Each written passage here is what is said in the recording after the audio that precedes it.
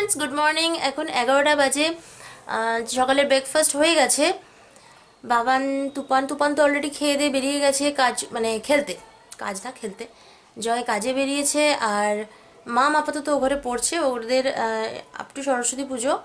ওদের কোনো online class হচ্ছে না। জিনিস দেখাবো। যেটা হলে আমি বললাম যে আমার ঘরে কিছু কাজ হচ্ছে। তো কাজটা মোটামুটি এখন কমপ্লিট হয়ে গেছে। সেটা হলো যে আমাদের এই ওয়ালটায় আপনারা দেখেছিলেন হবে?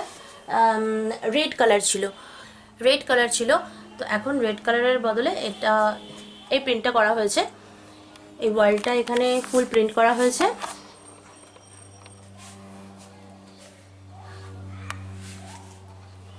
আর ওয়াশিং মেশিন ছিল ম্যানুয়াল আর জয় আমাকে একটা ওয়াশিং মেশিন দিয়েছে, সেটা কিনে দিয়েছে, সেটা হলো অটো তাই জন্য অটোর কোনো ব্যবস্থা আমার ওদিকে ছিল না। তো একটু ঘরে যেহেতু আমার ফ্ল্যাটটা খুব ছোট, তাহলে একটু গোছগাছ করে একটুখানি জায়গা বার করার জন্য ওয়াশিং মেশিনের জন্য একটা নিউ রুম হয়েছে। ওয়াশিং মেশিনের জন্য নিউ রুম হয়েছে, এই যে ওয়াশিং মেশিন এখানে রয়েছে। এখানে দুটো র্যাক করে দিয়েছি, আর এখানে মেশিনটা এখানে রয়েছে, এর সমস্ত কিছু এখানে জলের ব্যবস্থা ব্যবস্থা সমস্ত কিছুই আছে। তো মাম তো সবসময় মানে হাসছে, ও সারাক্ষণ বলছে যে, মা ওয়াশিং মেশিনের মানে বিশাল ব্যাপার ওয়াশিং মেশিনের জন্য নিউ খবর হয়ে গেছে। আমার যে ব্যালকনিটা ছিল, সেখানে পুরো বারান্দাটা এমনি গ্রিল ছিল, সেগুলো পুরো কভার হয়েছে। তো এই কাজগুলো, যেহেতু আমার জায়গাটা এতটাই ছোট, তো এই কাজগুলো করতে হিমশিম খেয়ে গেছি।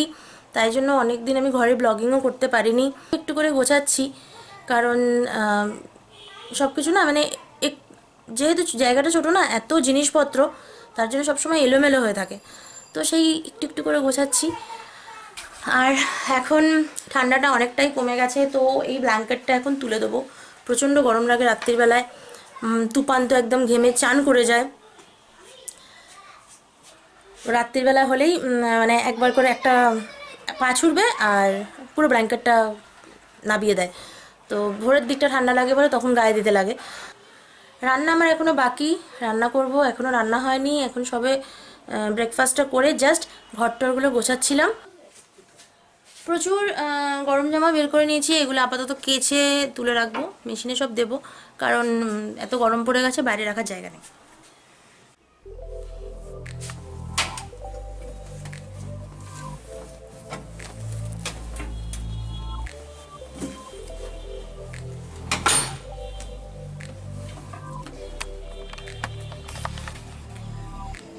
শীতকালের এই এক প্রবলেম প্রচুর জামা কাপড় বাইরে বেরোয়, আর সেগুলোকে কাঁচা, কেচে তারপরে আবার ঠিক জায়গায় ঢোকানো, এটা একটা বিশাল হেডেক লাগে। মাঝখানে যে টাইমটায় পরে আমরা চলাফেরা করি সেই টাইমটা খুব ভালো। কিন্তু এই কাঁচা ধোয়া, তোলা আর পাড়া, এগুলোতে খুব সমস্যা। এই যে ইজি চারটি কিনে নিয়ে এসেছি ইজি দিয়ে এখন গরম জামা যেরকম ধোয়া, সেরকম ধুয়ে নেব। আর এইটা করতে দিয়ে, কাচতে দিয়ে আমি এখন সোজা রান্নায় ঢুকে যাব, নাহলে সাড়ে এগারোটা অলরেডি বাজে।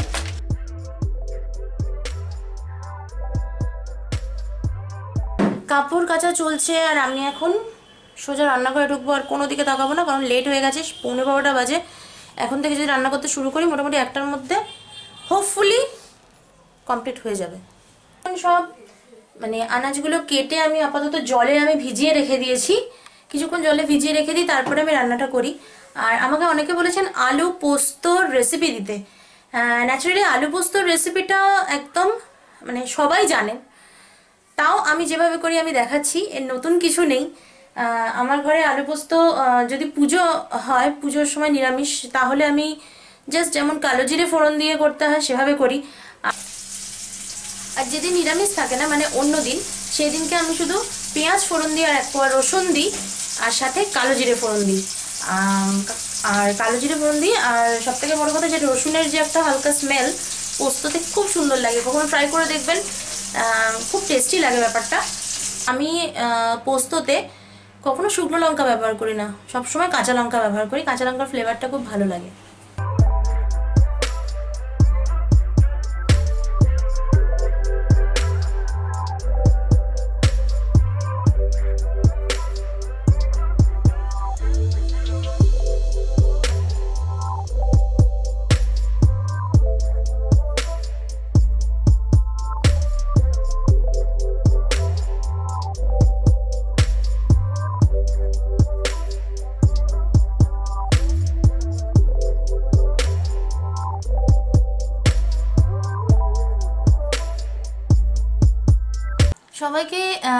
খাওয়া দিয়ে দিয়েছি আর কি মানে খাওয়ানো হয়ে গেছে।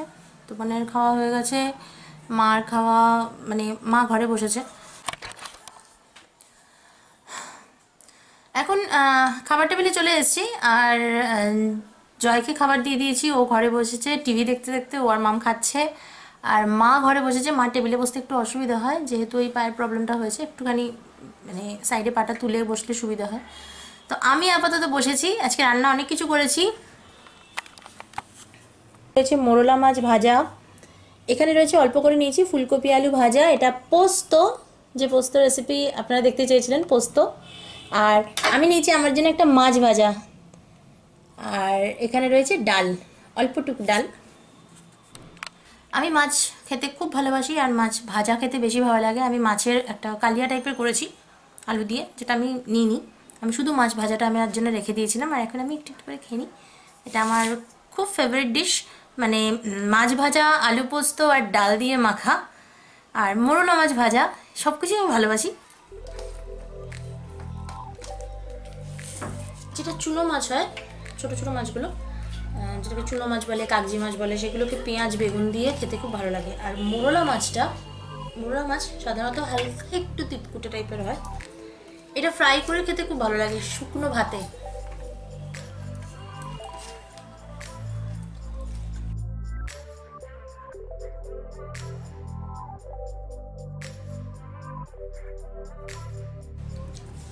পোস্ত দিয়ে, ডাল দিয়ে। love পোস্ত। অ্যাকচুয়ালি পোস্তটা অনেক বাদে হচ্ছে। আর তুপান পোস্ত খেতে খুব ভালোবাসে।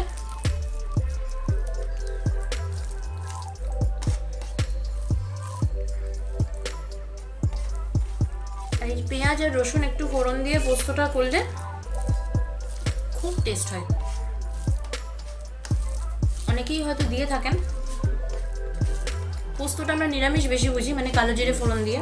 কিন্তু এই পেঁয়াজ, রসুন পেঁয়াজ আর রসুন মানে ফোড়ন দিয়ে যদি করেন, একবার টেস্ট করে দেখবেন, খুব ভালো লাগে খেতে। হ্যালো ফ্রেন্ডস আজকের দিনে ফ্যামিলিতে কন্ট্রিবিউশন করার জন্য কিংবা নিজেকে সেলফ ডিপেন্ডেন্ট করার জন্য সবাই এক্সট্রা কোনো ইনকামের রাস্তা খুঁজছেন। কিন্তু অনেক সময় এটা আটকে যায়। তোমরা কি flexible sustainable comfortable work from home opportunity খুঁজছো? যদি তাই হয়, তাহলে তোমাদের জন্য সব থেকে ভালো কাজের অপরচুনিটি আমার কাছে আছে। আর তার নাম হলো shop one zero one shop one zero one ইন্ডিয়ার নাম্বার ওয়ান রিসেলিং অ্যাপ যা তোমাদের বাড়ির কমফর্টে থেকেও একজন বিজনেস ওম্যান বা বিজনেস ম্যান হওয়ার সুযোগ করে দেবে। একদম জিরো ইনভেস্টমেন্ট আর ইনভেন্টারি ম্যানেজমেন্টের কোনো ঝামেলা নেই। Shop one zero one Google Play Store থেকেও ডাউনলোড করতে পারবে। রিসেলার হিসেবে অ্যাপে রেজিস্টার করে নাও আর নিজস্ব স্টোর শুরু করে দাও। এরপরে তোমার ব্র্যান্ডের একটা সুন্দর নাম দাও। বাস হয়ে গেল কাজ। এরপরে ব্রাউজ করে দেখতে থাকো কি কি প্রোডাক্ট আছে আর কোন ধরনের জিনিস আছে। চুজ করার জন্য এখানে মিলিয়ন্সের থেকেও বেশি অপশন পাবে। দিয়ে শুরু করো।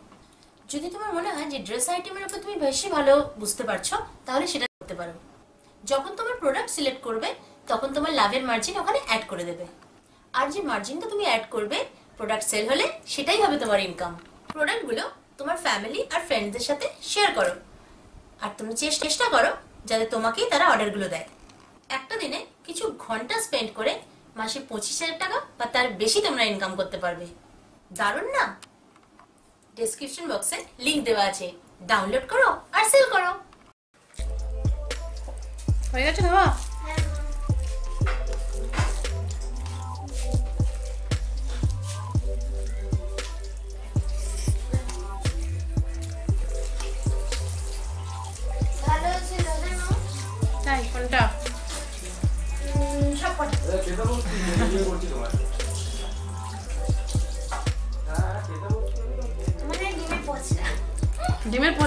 পোচটা সবচেয়ে বেশি আজকে ডিমের পোচ ওকে করে দিয়েছি ওই জন্য ডিমের পোচ খেতে খুব ভালো লেগেছে ওই জন্য ডিমের পোচটা সব থেকে বেশি ভালো হয়েছিল।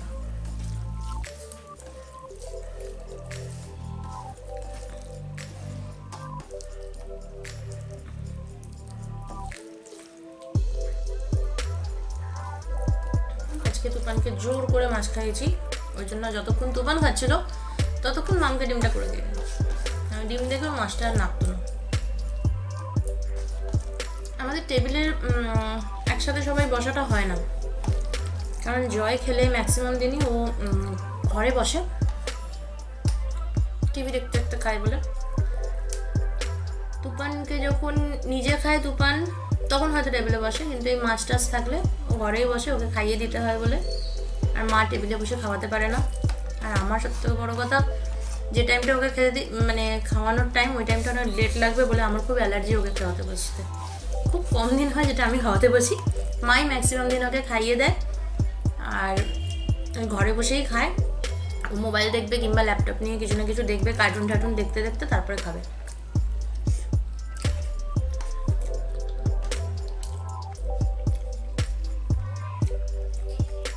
আর আমি রোজ দিনই টেবিলে বসি। আগে আমি আর মা দুজনে মিলে বসতাম, আর এখন একাই বসি।